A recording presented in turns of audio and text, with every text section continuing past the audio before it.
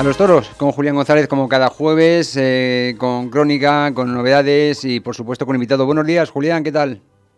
Buenos días, pues mira, muy bien, fenomenal, fenomenal. Ayer disfruté de lo lindo en una tarde muy taurina, muy taurina en, Sacedón, pero bueno, luego hablaremos de ello. Vamos a entrar con Torija, porque eh, también en Torija, el domingo 27, a las 9.30 de la noche, en un magnífico polideportivo lleno de público hasta la bandera y, como se suele decir, con el cartel de no hay billetes. Pues se presentaron los carteles taurinos de la feria del 2023 y en honor a la Santísima Virgen del Amparo, ¿eh? Eh, con gran atractivo para todos los públicos. Hay para todos los públicos. El domingo día 10 a las 6 de la tarde, gran corrida de toros para el mexicano Arturo Saldívar, Esaú Fernández y Andrés Legre, el galo. Eh, se lidiaron tres toros, se lidiarán, perdón, tres toros de Camino de Santiago y tres de Manuel Blázquez. El precio, pues es asequible y para, para todos los públicos.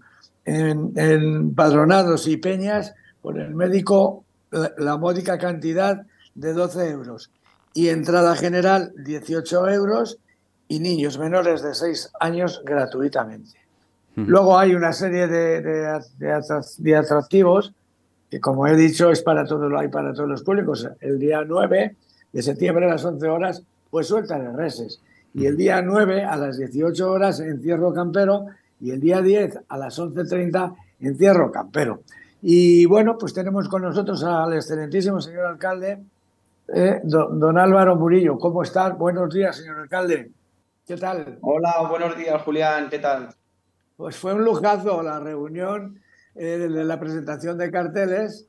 Eh, fue un auténtico lujazo. Vaya pueblo bonito, Vaya pueblo entrañable, vaya pueblo con una afición desmesurada al mundo del toro y vaya, vaya, vaya público, sobre todo, sobre todo, he de decir que con un respeto total. Pues sí, la verdad es que sí, la verdad es que colgamos el no hay billetes en el polideportivo, estaba el polideportivo hasta la bandera para ver la presentación de los actos taurinos y bueno, en Torija hay mucha tradición de toros, hay mucha afición de toros que se pasa de, abuelos a, nietos y, quedó demostrado el, domingo pasado. Eh, bueno, he comentado de las, respecto a las entradas. Creo que, creo que las entradas pues están, están muy bien de precio y han tenido en cuenta una serie de, de, de, cosas eh, que, son, que son primordiales. Por ejemplo, eh, empadronados y peñas, una cantidad de 12, de 12 euros es, una cantidad muy asequible para todos los públicos y para todos los, los pues aficionados. La verdad es que desde aquí darle las gracias a la empresa organizadora, a Campos Taurinos, a esos dos jóvenes emprendedores, Iñaki y César, porque bueno, porque han tenido la delicadeza de atender la petición que se les lanzó desde el ayuntamiento, de uno, poner precios populares y asequibles, y dos, eh, tener una bonificación para la gente de aquí de Torija, eh, no solo empadronados, sino también gente que está de una forma ligada con el pueblo, como pueden ser los peñistas, y la verdad es que han tenido la delicadeza y han hecho el esfuerzo de, asumirlo y esperamos que la gente responda. Seguro, seguro que sí. Y luego hay una entrada general que son 18 euros. Bueno, menos de 18 euros, pues es lo que se está, es lo que se está pagando por ahí, por los pueblos por donde yo me muevo. Así es. Y luego, pues eh, también un, eh, un, detalle importantísimo, eh, niños menores de 6 años acompañados pues, pues gratuitamente. Quiere decirse que, que cualquier papá puede, puede acercarse. Así es, sí. 18 euros incluso es barato para una entrada general. Ayer mismo en Sacedón, en la corrida de toros que hubo, 18 euros, si no estoy equivocado, es lo que pagaban los empadronados del municipio de Sacedón. Efectivamente. imaginémonos. Efectivamente. 18 euros los, los empadronados. Eh, los vecinos de Sacedón. Esa eh, a mí me pareció una entrada, bueno, pues bastante cara, bastante cara. Y, bueno, pues la verdad que el público respondió, eh, hacía una tarde buena, pero bueno, pues se llenó más de media entrada, como tres cuartos de entrada, y bueno, pues una, una tarde maravillosa. Pero volvemos a, a, su pueblo. Eh, el 9 de septiembre a las 11 horas, suelta de reses. Esa suelta de reses. Sí, sí. Suelta de, soltamos dos herales, dos herales y una vaca por las calles de, Torija. Eh, vuelven los encierros por las calles en, la, en las fiestas patronales.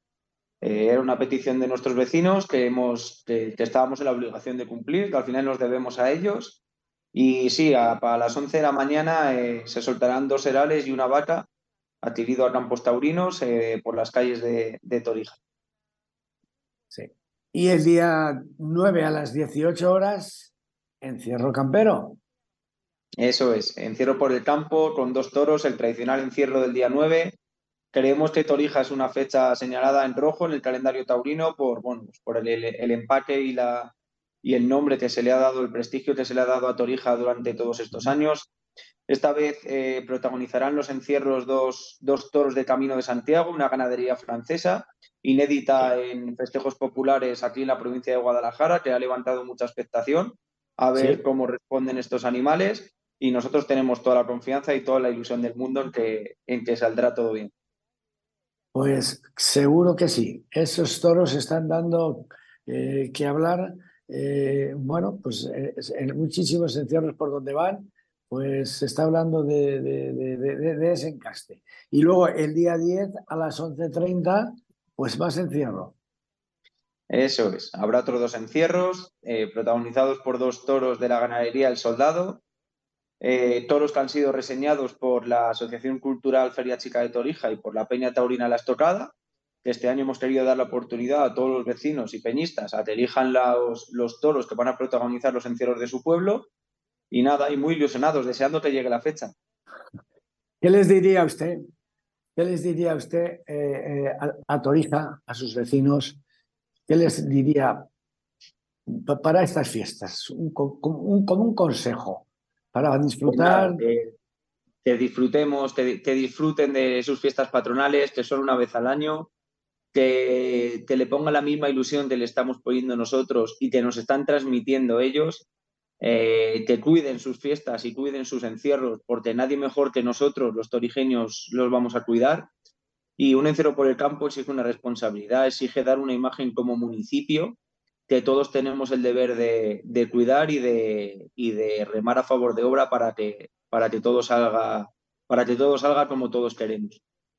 Pues esperemos que así sea y, vamos, yo estoy convencido porque por el arraigo que hay, ese, arraigo, esa afición, y luego pues es, un pueblo que sabe estar y, se sabe comportar.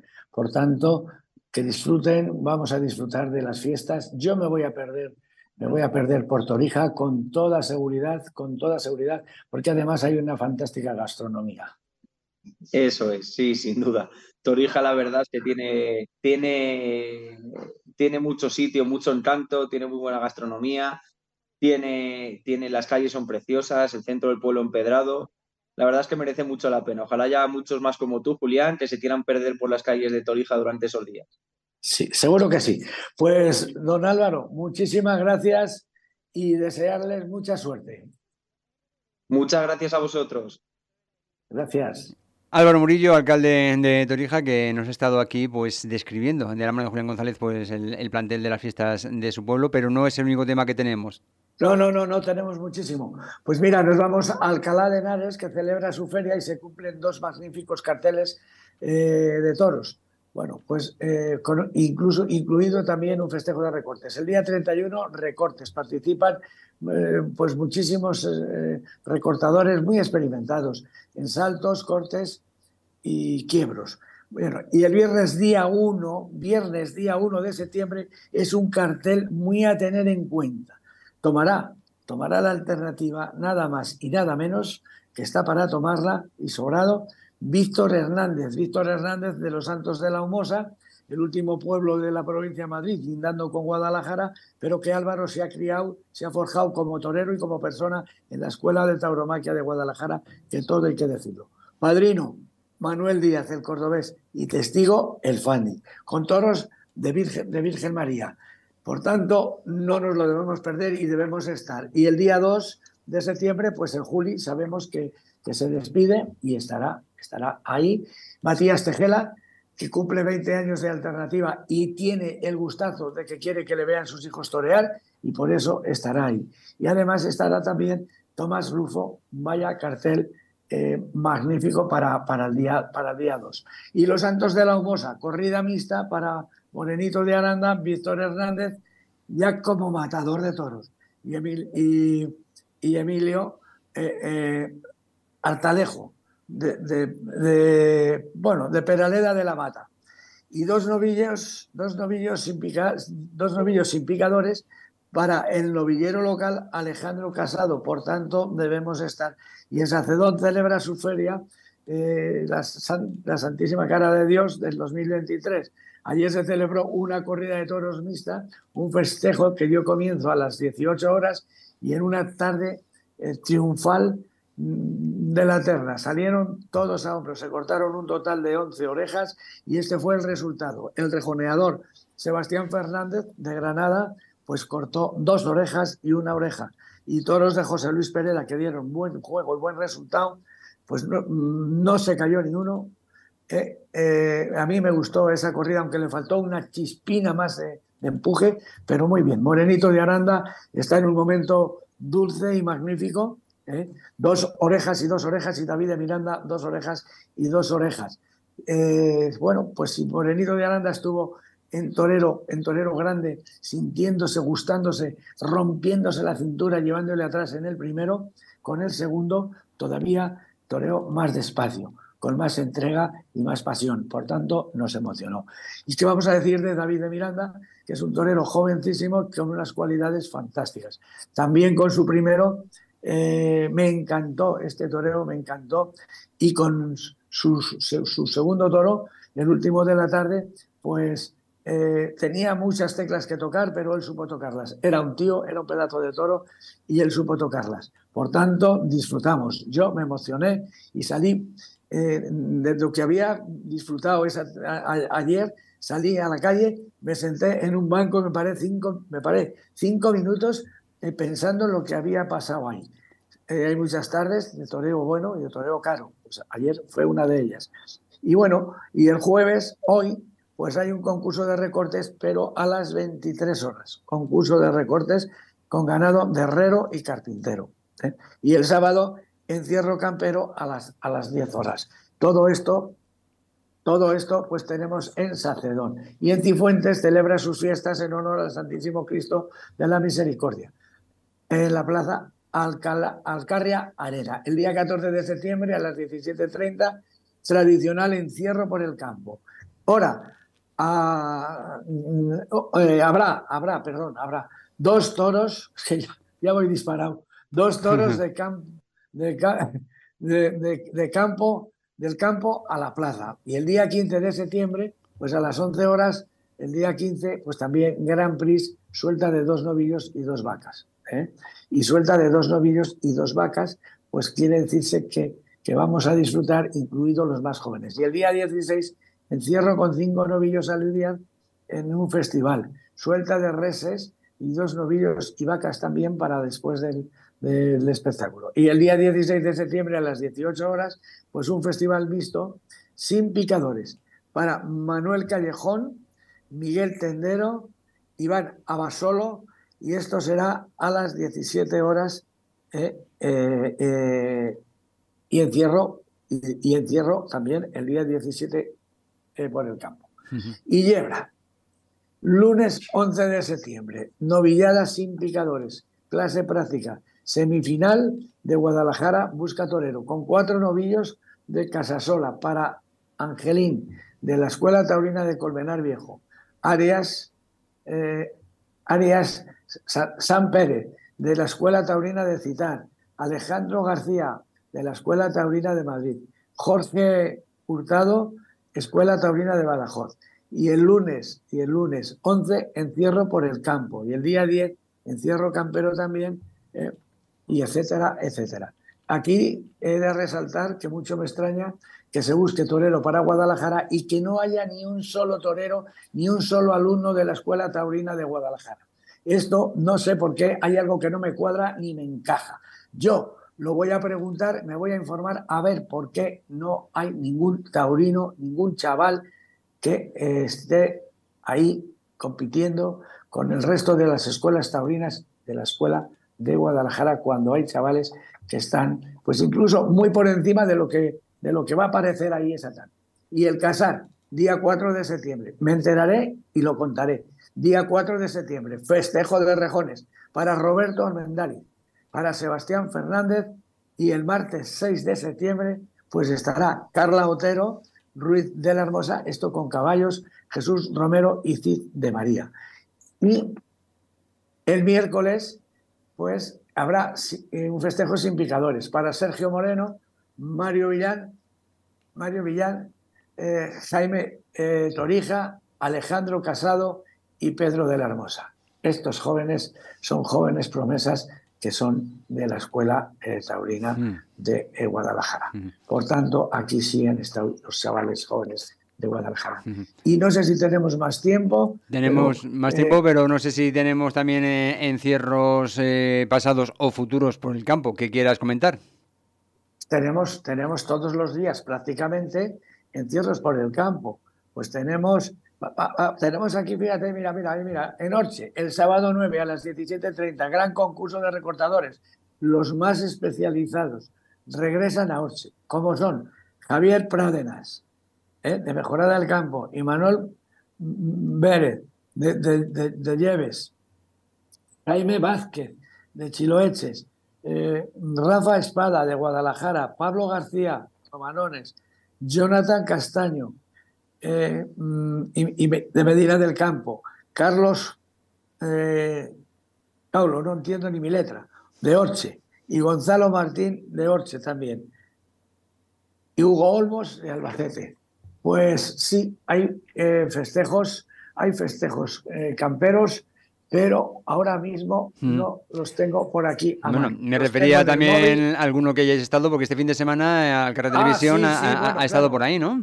Sí, sí, sí, sí, bueno, claro que hemos estado. Yo quería descontar los que va a haber estos días, pero estos días en casi todos los pueblos de Guadalajara no hay nada más que coger el coche y salir y hay encierros camperos. Pero hemos visto, hemos tenido la suerte de estar pues, en Moratilla de los Meleros, estuvimos el sábado eh, por la mañana y luego por la tarde pues estuvimos en... Mm, al ladito de en Lleves, en Lleves, al ladito de Valdeluz.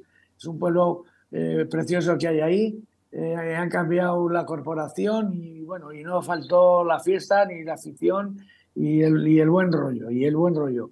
Pues eh, se corrieron dos toros, un toro, bueno, pues ya, ya para cuatreño, un gran toro. Se corrió el primero al principio, después soltaron un heral ya para Utrero y después echaron tres vacas. Por tanto, pues, pues eh, pasamos una, una, una, tarde, una tarde pues muy, muy bonita, muy bonita. Así es que pues todo esto es lo que hemos visto. El viernes tuve yo también, tuve yo también una presentación de un programa, de un homenaje que se le hizo a don Andrés Hernando. A don Andrés Hernando se le hizo eh, un gran homenaje el Morata de Tajuña, porque eh, da la casualidad que don Andrés vivió ahí una temporadita, pero es que luego ha vivido 16 años y ha vivido eh, el, asilo de los ancianos que rigen unas monjitas que, lo, ha estado apadrinando, ¿no? Lo ha estado, lo estuvo apadrinando y lo ha estado soportando esos gastos durante 16 años. Por eso estuve ahí el viernes por la tarde y no recuerdo si por la mañana.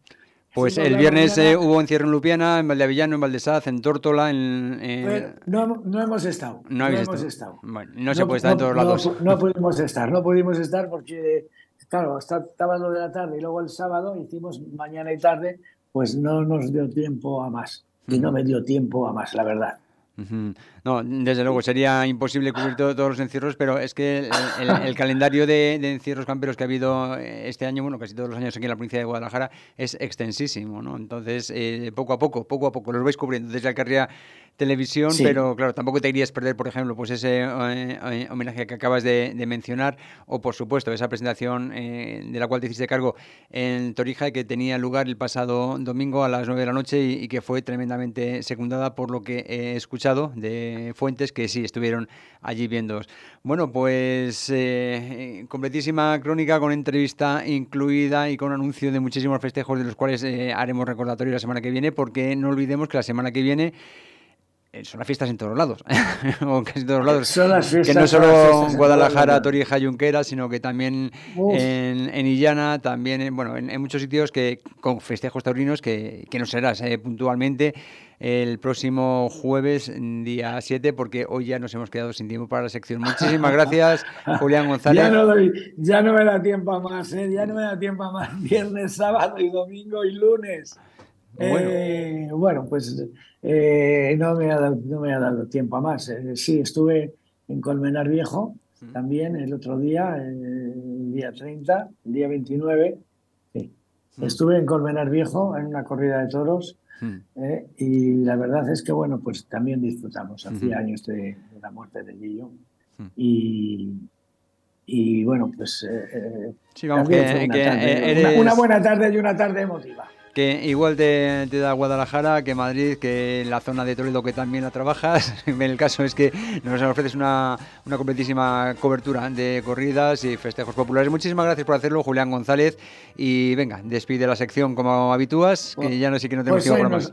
Hoy nos despedimos la sección con una frase de Federico García Lorca. Y dijo así, si en España no hubiera toros, tendríamos que inventarlos.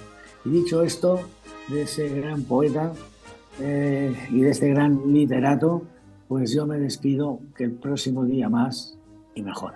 Que Dios reparta suerte para todos.